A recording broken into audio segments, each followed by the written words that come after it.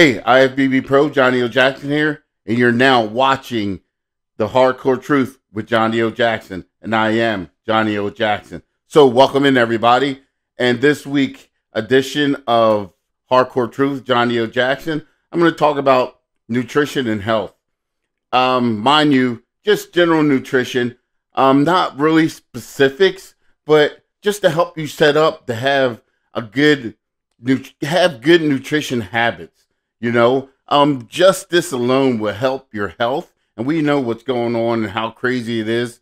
Um, all these different diseases and viruses uh, and bugs are going around these these this time in this time of day, and it's really crazy. So it's really important for you to have just generally good health. And in doing that, you can do that through nutrition. Everybody knows this. So I'm going to tell you you know, what I normally do on a daily basis or how I look at, you know, nutrition.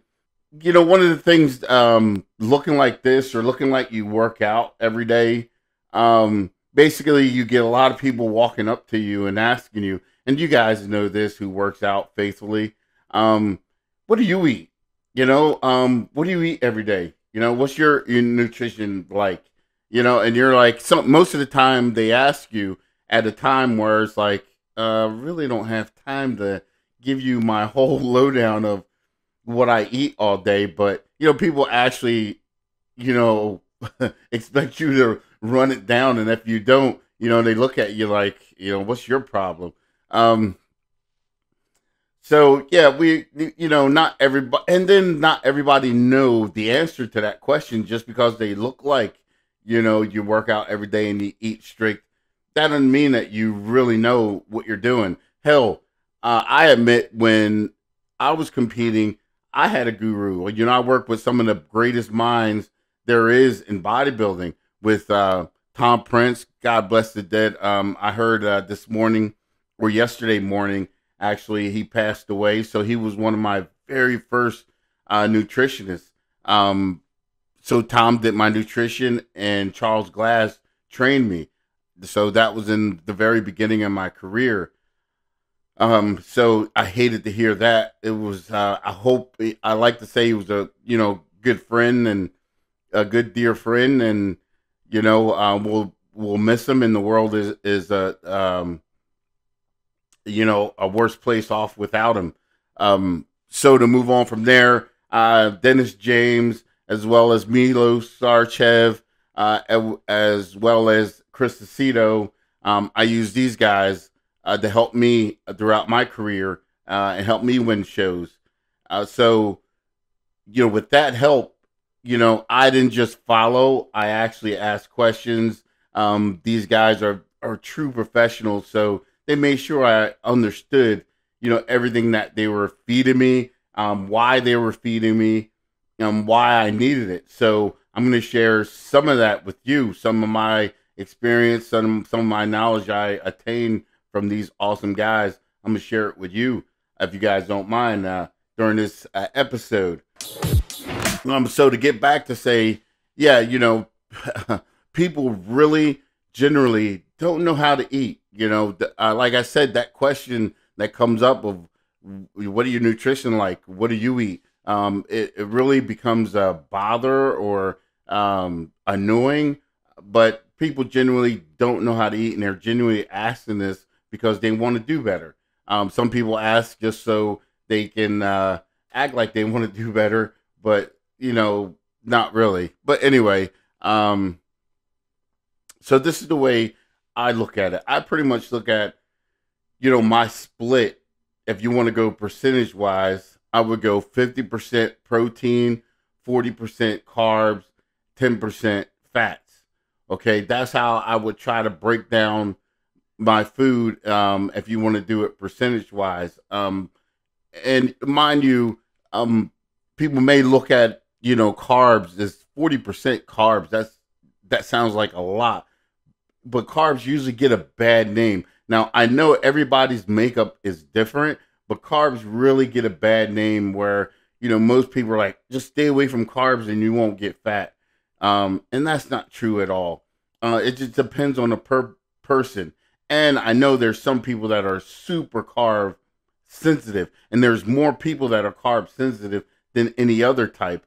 Um, so with eating carbs, they just automatically blow up and gain weight. So I can understand, you know, those people, you know, feeling that way. But in general, we need carbs just as much as we need protein. And my need we need fat just as much as we need carbs and protein. So we need a balanced diet. Um, I know um, during like preschool, if I can think back, pre that was a long time ago. They want me to think back. Um, back in preschool, but I know this back in preschool and uh, kindergarten and uh, first, second grade, we actually learned the five food groups. You know, um, where it was protein, fats, breads, carbs, um, protein, carbs, uh, fats, breads, and fiber um, that we learned about, um, which was very important to us as we get older. Not so much while we're well, I, I, I say that, but it was important for us as children as well. But it was more up to our parents who fed us, who prepared our meals, to know this. Um, not so much for us in kindergarten and first, second, third grade to, you know, maybe start learning this um, and then can continue on the learning as we go through school. But I'm telling you, by third, fourth, fifth grade, I think fifth grade, I still had home ec classes. After fifth grade, I, you know, nutrition was the furthest thing from education, educational classes um, that I've ever you know, experienced. I mean, it, it was like zero, none. Um, you know, fish for your own self or remember what you learned in grade school and carry that for the rest of your life. I mean, it's a little bit ridiculous if you think about it. How through school, um, we never got taught how to eat properly. You know, at a certain grade. Um, and then you know, um, like I said, there's still home ec classes, and I took home ec classes also and learned how to make eggs. Um, if I can remember right, um, was one of the big things there. How to crack an egg and you know not break the yolk. Um, put it in the pan without breaking the yolk was one of the big things. Um, other than that, I really can't remember anything else about nutrition that I've learned in school. Um, basically, um, except for after you know I got out of say you know grade school middle school, high school, and um, got into some college courses. And I took some college, some nutrition co- college courses.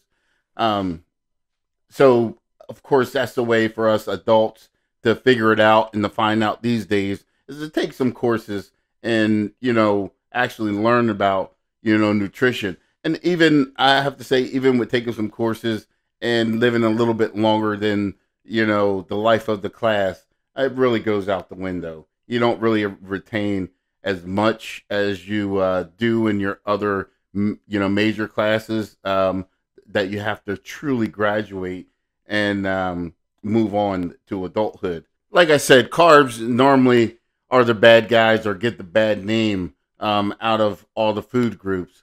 Um, but we definitely need carbs for, you know, our main energy source, you know, um, for brain functions, uh, for body functions as well, um, and to build muscle. Now, you know, we need carbs to build muscle as well. We need protein, and we know protein are the building blocks and all this good jazz. And that's why I mentioned 50% um, or the higher percentage uh, is protein um, because I was always a bodybuilder. I always cared about my physique. I was always trying to build bigger muscle. So protein is the key, is the key point. So is the number one. is 50% of what I eat. And like I said, carbs, the bad name, get 40% because we need this to help the protein. So we don't turn our protein into something that it's not or get it it be made to be used in our body for something is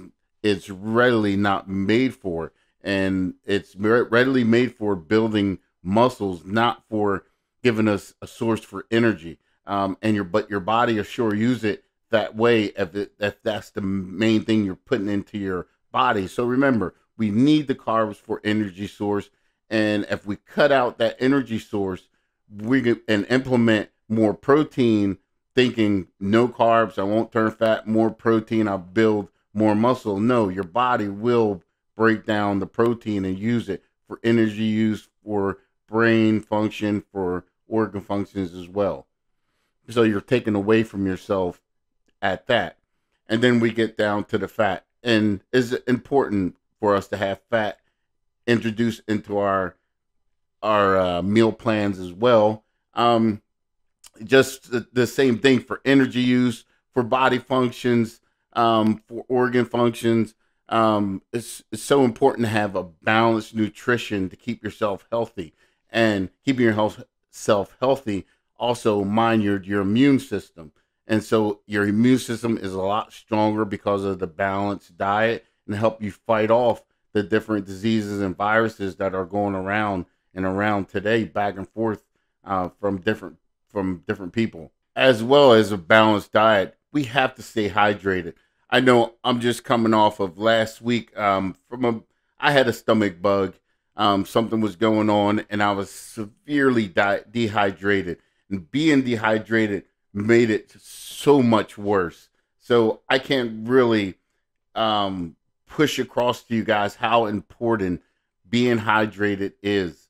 Um, I mean, at one point, I really didn't want to take time off because um, I took a couple COVID tests and was negative COVID. So I didn't worry about this because my stomach was really in knots and I was wondering what was going on. And you know, some people said that was, you know, some of the symptoms of having COVID. Believe it or not, was uh, stomach pain. I had more pain than issues. Felt like my guts just was wrenching. Um, but I was severely dehydrated as well, and I'm sure that you know again um, helped out the wrenching and the pain. Um, so at one point, I really didn't want to go, and I know I needed an IV and I really didn't want to go and somewhere to, to get one. So I just, you know, put salt underneath my tongue. And then as that started to dissolve, I slammed Pedialyte and slammed water. so just repeat, I repeated that, you know, time and time again, no matter how bad my stomach felt or how full it, it had gotten. I just, you know, did as much as I could, let it get full, be this, be in discomfort for a while, then let it to settle down. Put salt underneath my tongue, slam water, and Pedialyte. Um, so finally, you know, after uh, you know several hours of going through that, my body start absorbing more, absorbing more, relaxing a little bit. I felt my guts relaxing, relaxing a little bit, and finally I came out of it. Um, so it, it, was about 72 hours. Uh, stomach bug I had. Um, not truly uh, certain what it was, but um, like I said, I was dehydrated during that time, and you know when it got to its peak, my dehydration is where the pain really set in, and uh, I, you know, truly went to work and uh, did what I had to get do to uh, rehydrate myself, which would have been smarter if I would have went in to a um, CareNow or someplace like this and asked for an IV. But then they would have been investigated and did a whole lot more when it went a little bit further than probably I would wanted to, them to go as long as I didn't have COVID and was no risk of uh, getting anyone else sick. Um, and I was home anyway during that time because my stomach pain really didn't let me leave the house at all. Um, so I just catered to that and, you know, hydrated myself. Um, and then finally, you know, got on the other end of it and feeling much better now. But hydration, hydration, hydration is very important.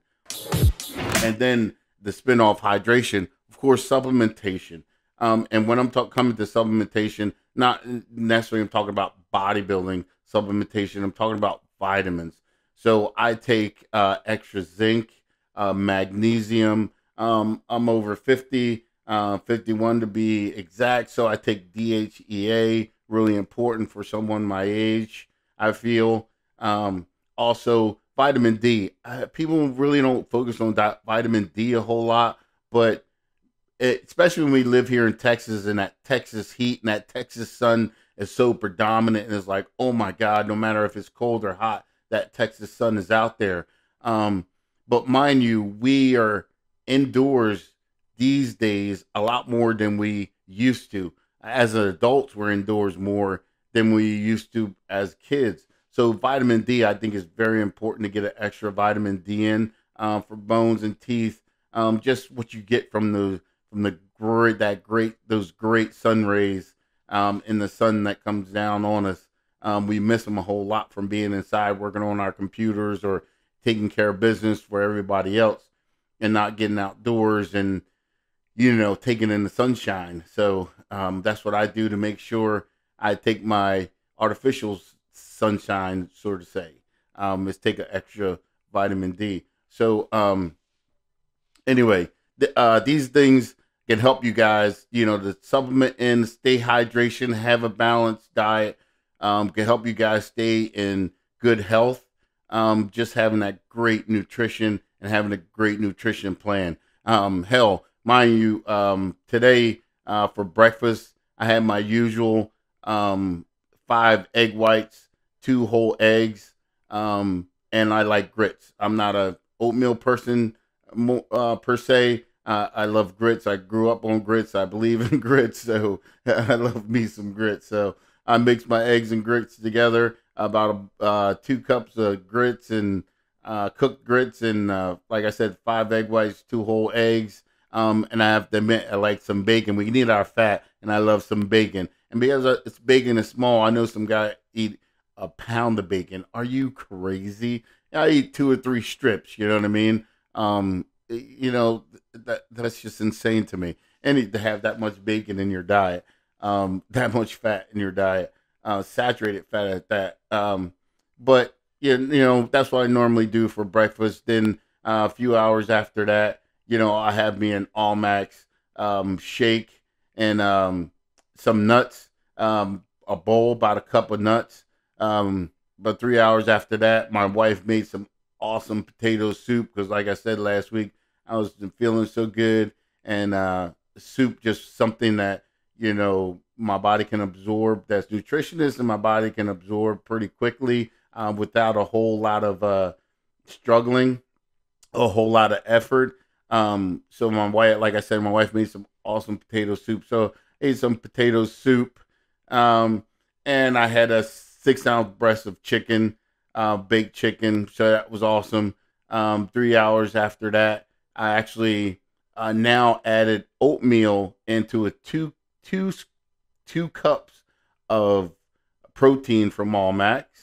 Um, then I had uh, a cup of oatmeal, um, one whole banana, about you know a cup of two about two cups of ice, and about six ounces of water, and uh, blended that into a, a shake, and had that for my next meal. Um, and then for dinner, I had salmon. I had uh, 10 ounces of salmon.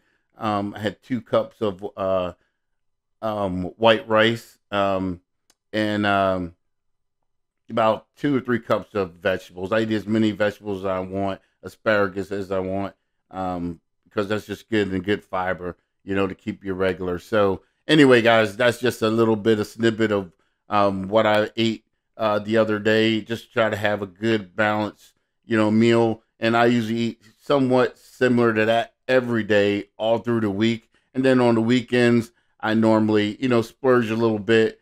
And, um, you know, if we decide to go out to dinner somewhere or go to Outback or something like that, you know, I'll have, you know, a meal there or something like that. Who knows? Uh, probably fish again uh, or a steak. Um, and then again, potato. Um, and then bread, definitely bread. Oh, I love the bread you know, at restaurants. So, in a, you know, that's just a, a little bit free appetizer. So, uh, why not? Anyway, thank you guys for coming in this week. Listen to me on the Hardcore Truth with Johnnie O. Jackson. I'm Johnnie O. Jackson. And please subscribe, comment at the bottom. Um, let me know what you guys want like me to talk about. And um, we'll see you next week. Glad you was here. See you next time.